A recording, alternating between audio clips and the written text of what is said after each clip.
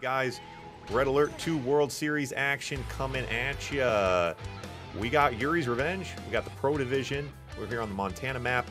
We got Mystic Marsh in yellow bottom left playing Allied. He's an Allied main, strong Allied player, facing off against Sword in red playing Soviet. Sword out of China, strong Chinese player, traditional player, uh, likes the Soviets, likes the Rhino, the run and gun style. Mystic Marsh, of course, mixing things up with Allied, looking to get a little weird for us. Uh, again, it is Yuri's Revenge. Um, I'm, I'm, mixing myself up with the Blitz, the Red Alert 2, the Yuri's Revenge.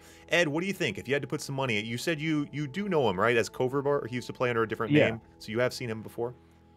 Yeah, yeah, yeah. Uh, I've played against him in quick match actually uh, plenty of times in Yuri quick match. Uh, I didn't recognize him when I was playing in Blitz. Brand new player to Blitz to me, uh, going by sword or whatever. But Cobra Bear, I know for sure. Uh, so this is gonna be a good game. He's a really good player.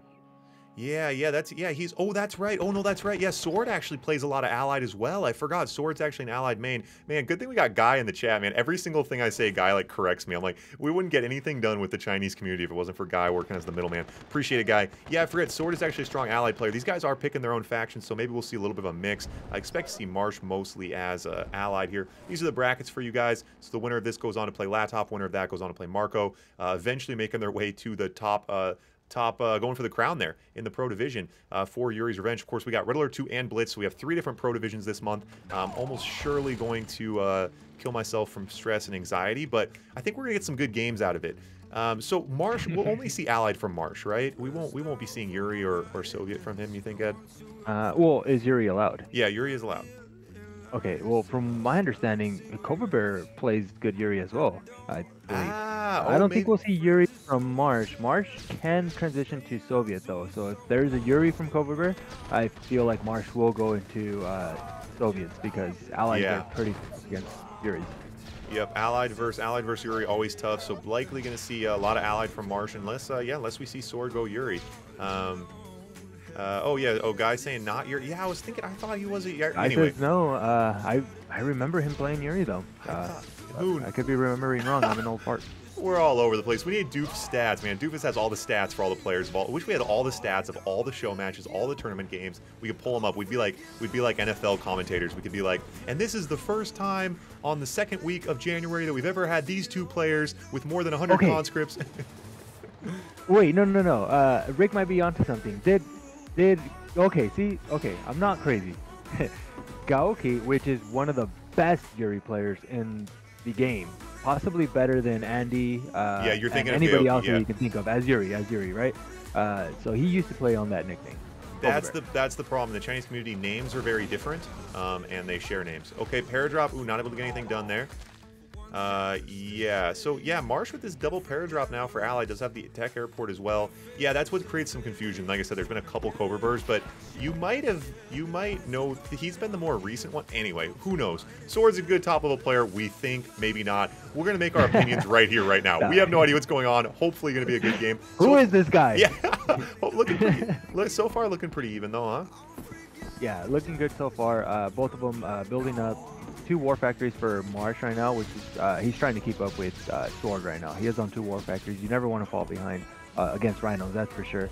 Uh, and I feel like on Yuri's, it's whoa, whoa, whoa, whoa, huge engagement first of all. Yep, yep, big engagement, and Marsh gets in and takes out that fodder. Nice move, but then does get his tanks a little bit trapped there, and the Rockies don't come in. The para drops late, uh, wasn't enough, so not going to get a massive counterpunch out of it, but a little bit missed unit yeah. control. Those Rockies could have got in a little bit earlier once he took out the flak track. Now going into a flak track, not ideal. Ooh, so not, yeah, not uh, not that kind of top level unit control you expect to see from Marsh there, um, but uh, but you know holds the position. Yeah, that was that was actually pretty nice from Marsh in the beginning of it. Uh, he did go in there, sacrifice a couple Grizzlies just so that he can get that flak track, uh, or else he would have just com completely been ran over right there. Yeah, he, so he kind of kept himself in the game, to be honest, by killing that flak track to begin with, or yeah. else uh, Cobra Bear was just gonna push in on him.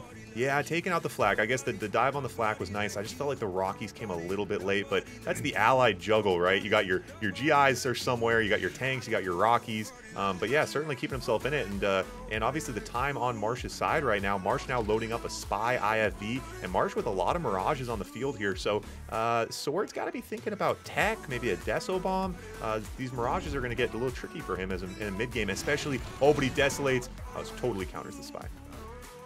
Yeah, gonna definitely. I think if anything, Sword's probably in a worse position because the best thing that Allied wants is to slow the game down. Like, They want to build up. They want to get their pack of Mirages, right? Five Mirages, they can get ran over. But you, you got ten Mirages, that makes Yep. a whole lot of a difference, honestly. So right now, uh, Cobra Bear is going to be, or Sword, I should be calling him Sword. Yeah. Sword's going to be forced into making possibly an IC here.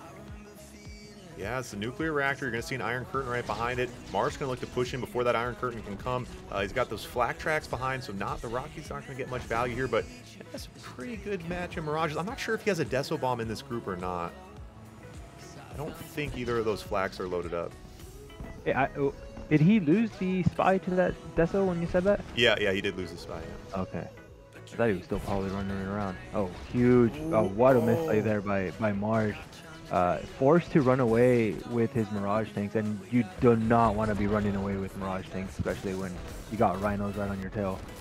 Yep, and now and now it's starting to be a scary amount of rhinos here. Marsh pulling back to defend. Uh, yeah, and so only one flak track in that group, but doesn't really have the Rockies anyway. Yeah, the yeah, clicking down the army here. Marsh could be in trouble.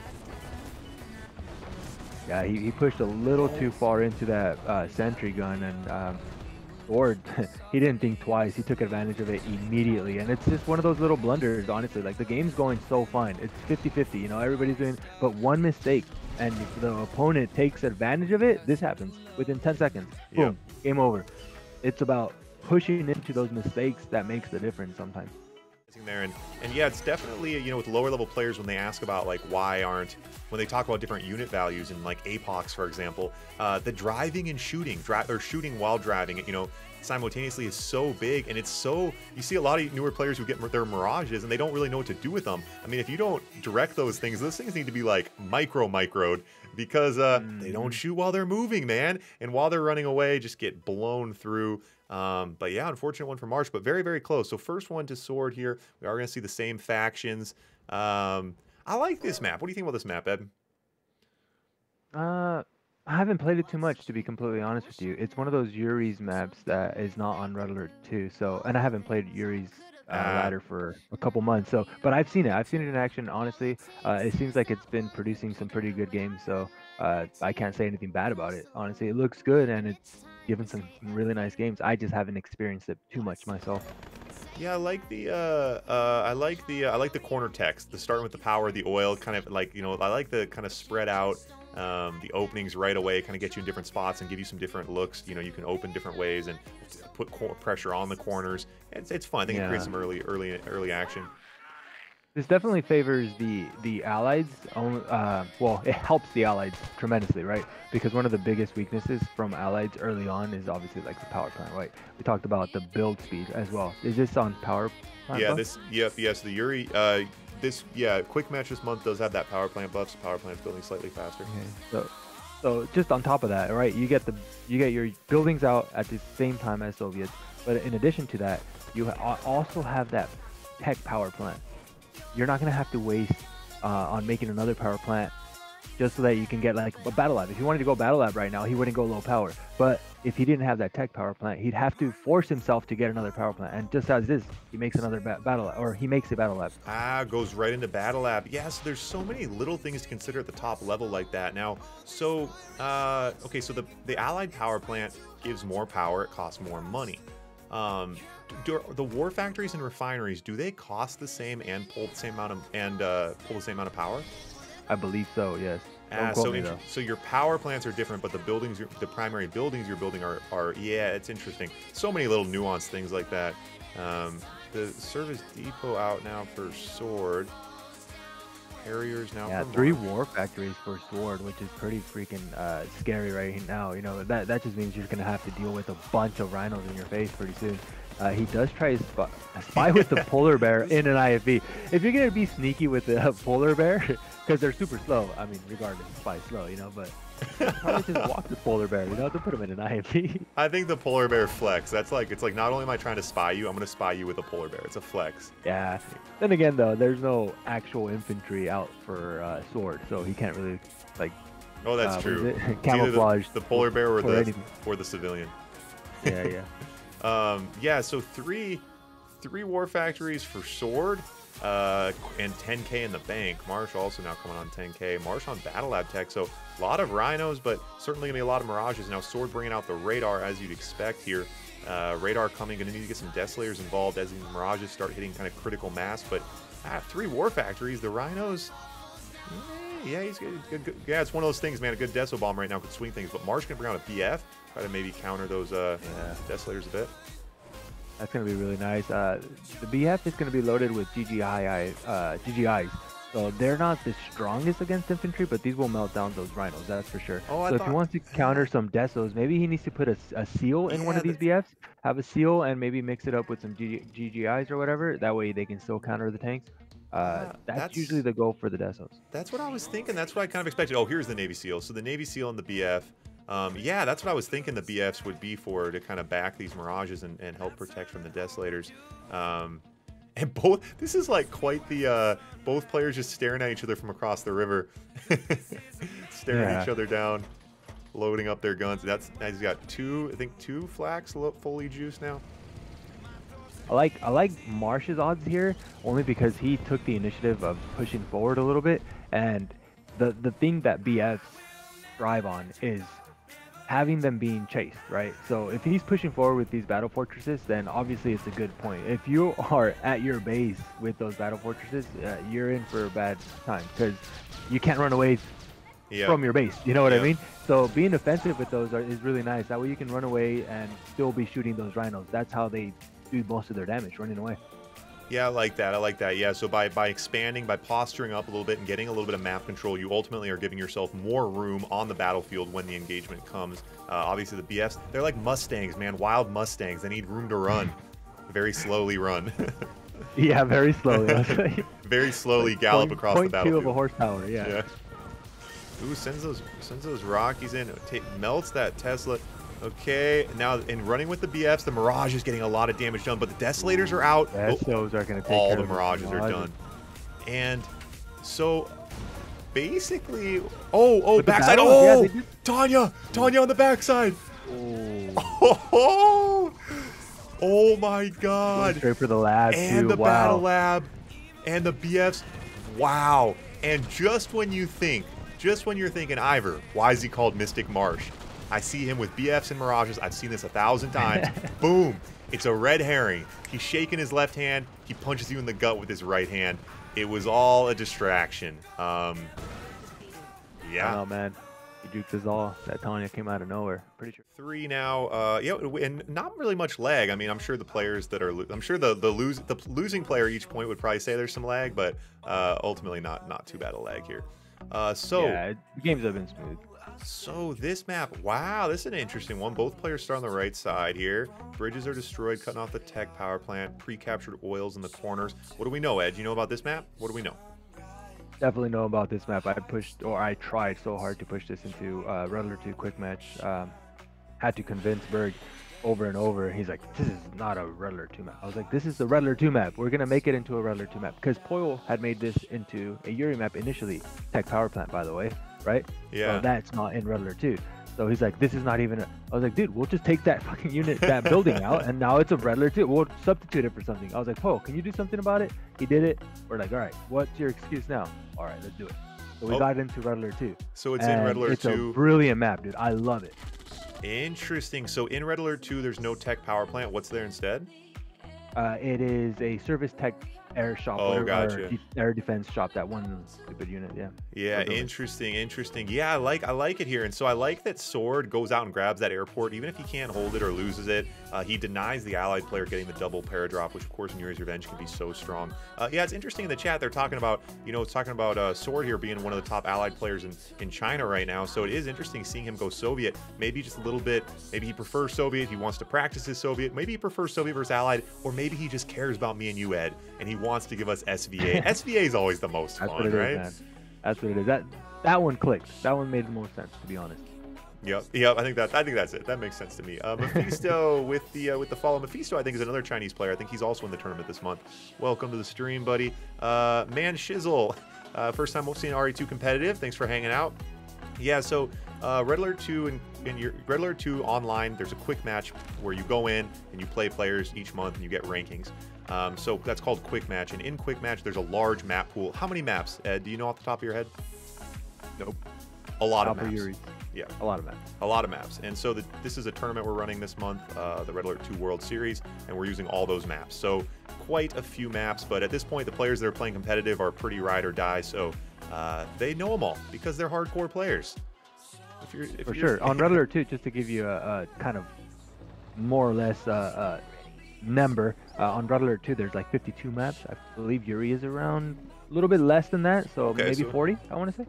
Yeah, 50 40. Yeah, so quite a few maps to know. But yeah, like I said, I mean, the players, it's one of those games, man. If you're still around now 20 years later, uh, yeah, you know the maps. You're pretty pretty hardcore if you're playing competitive at this level at this point. So Navy SEAL, sneaky, sneaky on the backside here from Marsh on that island. Of course, the Navy SEALs can swim, so they can get a lot of, uh, can move pretty quick on this map. Marsh slowly edging in now. I like this build off the top left expansion, walking his base down, getting those Grizzlies to the front lines, pushing in now with the, the but again, this is going to be the same move again, Ed. This is a he's just- distraction. He's just, distracting. That's all it is. It's just look at my left hand. Look at my left hand. Here Yup, go. yup. Uppercut. Uppercut. Oh, oh, Boom. MCD down. oh War my. Factory gets sold. And the Refinery. refinery. Are we going to see the GGs from some sword here? Does he go downfield and try to get lucky? Wow. Uh, moving some miners up, but I don't know if he's going to move them to get that or if he's going to move him to attack because honestly, he's on a time frame now, right? Yeah, Like, he's, he, yeah, needs he's, to, he needs to make a move. he's got to go. Yeah, he's got to go.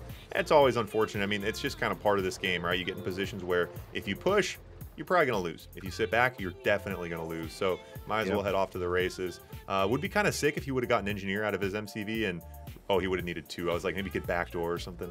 Um, the bridge mechanics are so interesting because ultimately, like early game, they cut it off, but then late game, you can open it up and go across. Um, yeah, I like this map. This is a cool format. Yeah, I I've done well. Let's. I'm not going to get into my strats here too much because it looks like they're about to attack. Yeah. He has no time to just sit here and listen to me. Uh, he's going to go straight in here. Uh, Yeah, he's definitely he's outnumbered. severely uh, out, It's yeah. honestly one of those attacks where you just have to do it. I mean, you have to try it. Give it Yeah. your best shot here. Yeah, it doesn't gonna Uh, matter. so- as Snark would say, if Marsh started control clicking the ground, he would still probably win. yeah, yeah, most likely. Yeah. So well played. I'm surprised to see. I'm surprised to see Sword not go full commit. Bring the bring the miners with him, but yeah, whatever. I, I, I like both sides, right? The whole Rambo, hey, it's all go, you know, just all war. And then you got Rudler too, where it's multi-engy uh, and no dog engineer kills or whatever, you know. And I like that too. I like both worlds. Uh, what can I say? Yeah, I think there's I think there's a place for both. So so Ed, you might want to know this map more. Did the MCV move? Is that normal here? Both players moving their Yeah. MCVs up to the gems? Ah, nice. Definitely normal. You want to get to the Yeah. center uh, as quick as possible. Uh, for Marsh, he's most likely going to want to do like, like I don't know, a Connie rush, if anything, because as soon as that guy gets a uh, cannon down, he's not going to be able to do anything else.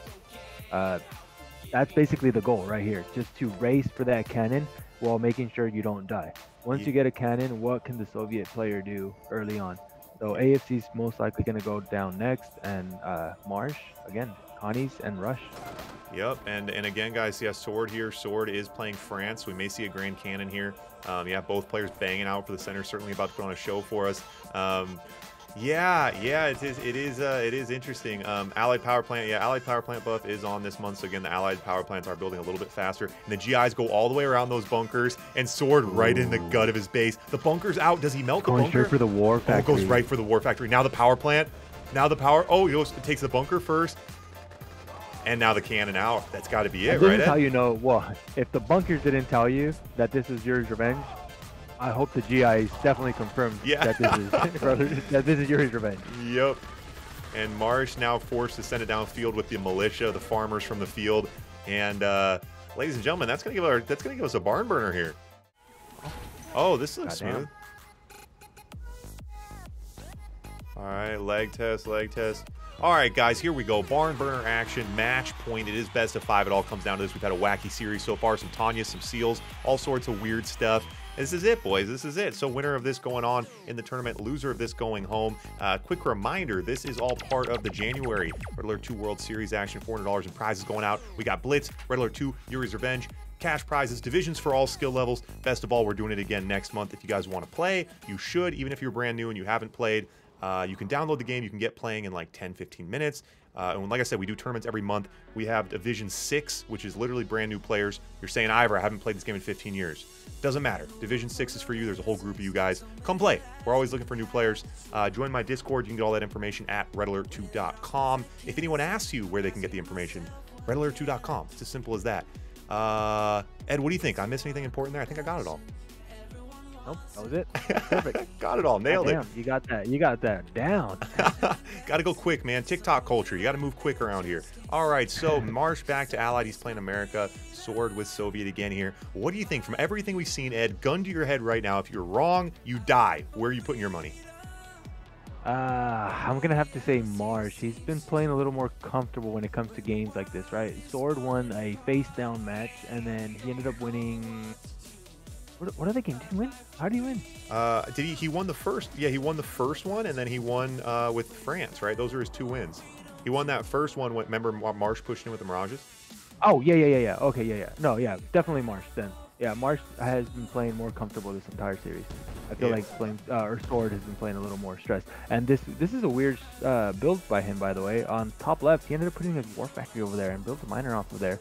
So weird expansion on that side. Does have a War Factory by MCV as well. So interesting strat. I've never seen this myself. So Yeah, War Factory off the corner. And you guys who don't know, we got pre-captured tech in both corners and an oil behind. So pretty stretched out again. Uh, bottom side again starts with the oil behind them and their corner. And Sword is coming super aggressive here. Uh, does have a flak track, so the Rockies aren't going to get much done. Needs to be careful. They did get some ship damage, so he's got a smoking Rhino in this group. Low body situations. One half half-life Rhino uh, can swing things like this. And now Harrier's out from Marsh. He'll start maybe trying to pick on those Rhinos a little bit. Or take out the flak track, then try to chip away at the Rockies maybe. Oh, misses the flak track. Or half half hit the flak track, I guess. yeah, one one of those Harriers ended up hitting it. He, is he gonna take it back to repair? I don't know. Those three Rocketeers can definitely uh, knock it down if he doesn't micro it well enough. Now another flak track out, yeah. And so, yeah, these uh, these little rock paper scissors games early on, ABS, the Rockies, the flag tracks, the Rhinos. It's always fun. It's difficult to appreciate the nuances and just little things uh, making differences, especially early on. These, I guess, in these low low body situations, you know, losing one or two tanks. Yeah. Look at this, by the way. Uh, Sword did not bite. Sword did not bite. And it's one of those uh, mind games, right? Uh, Marsh was pushing to the top left way uh, before Sword started pushing to the bottom right. Look at this huge push on the bottom right. And it actually made Marsh come back. He said, whoa, whoa, whoa, whoa, whoa, whoa, I need to go back. And now we look at Marsh, and he ended up coming back. Sword did not fall for his man games. He did not want to fall for that. He was going to take that trade if he wanted to. Yeah, interesting. A little bit of a, it's like kind of like playing chicken with someone. You know, you're like, who's yeah, gonna yeah, turn yeah. away first? exactly yeah. Playing chicken, yep. Oh, and the Navy SEAL. the seal almost goes in. This time he does catch it though. And once again, I'm loses it. totally miss it. Navy SEAL again. And that's the other thing to notice here. So the couple of the wins, I mean, both these players right now, I think I'd probably, it's tricky because all four of these wins have been on like really decisive single moves, right? Both of Marsh's That's wins true. were a backdoor Navy SEAL or Tanya. Um, you know, we had Sword with a win with like that Grand Cannon walk, GI rush, and a win where like Marsh. I mean, we've had all four points have been pretty crazy matches so far. Uncontested Rockies top side. Uh, those Rockies are going to get some. Oh, flak cannon out. Yeah, he's still gonna get some damage done. He does get uh, Ooh, an exposed refinery with no air defense there. He might be able to get the power plant as well. Uh, no, he's sing- sending some flags back, and the, if Oh. you've ever built too many flags, this is it right here. but Yeah. they're paying off. Goddamn, Marsh not paying attention to those flags. He's looking at the bottom battle right here. Uh, Grievous Yeah. against his rhinos. No fodder for Sword. where for Marsh really, really helping him staying in here. But Sword's Oh, trying to keep his distance. As you know, rhinos with distance they have more advantage than the grizzlies, so he's trying to keep away from those rhinos, from those grizzlies. And now his split on the top side, but he doesn't bring the split down to help him. He needs to help. He needs to, he tries to go pick on some miners. Um, now he needs to pull all these rhinos back. He's gonna need to get a little defensive here. And you talked about that, the overcommitting to the flak tracks, and that's why the rock paper scissors game, right? Your opponent goes rock. Yes, you have to go paper, but you can't go ten paper. You go ten paper. Now you don't got scissors when he goes rock. That's- That's funny. Yeah, that's good. too many flak tracks in this position, and uh, that's why he's being out tanked here. And that fodder as well. bit surprising to see uh, Sword not having his more fodder in that group. Marsh still with a fodder advantage, though. Sword now bringing the dogs in. Yeah, honestly, I want to say if Sword had some fodder within that uh, Yeah. within that fight, I think things would have been a little bit more dangerous for Marsh, to be completely honest with you. But he had no fodder, and Marsh had a lot of dogs with him. So uh, right now, it looks like just a wash almost, like nothing really major happened there besides them exchanging some tanks here. Uh, three war factories for Sword and three war four war factories now for Marsh actually. And Marsh is actually sitting comfortably on four war factories. He has 8k just about. Yeah, Marsh 8K. He could start pumping some more Rockies if he wants to, possibly go Battle Lab Tech. Talked about it before. It's all about that. There's a graph, you know, and actually Sneer put together a graph on Blitz, and it's like the win rate for Soviet versus Allied over time. And regardless of the game mode, obviously the longer it goes, the more, you know, Allied can get those advantages here. And especially with Marsh with 10k now in the bank, as Sword scraping the bottom of the barrel, almost bottoming himself out here, but a ton of fodder in this group.